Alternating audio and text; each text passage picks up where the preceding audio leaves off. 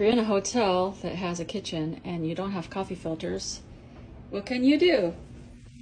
Use a paper towel from the Dollar General. They're thin enough, flimsy enough, but will probably hold well if you double it up.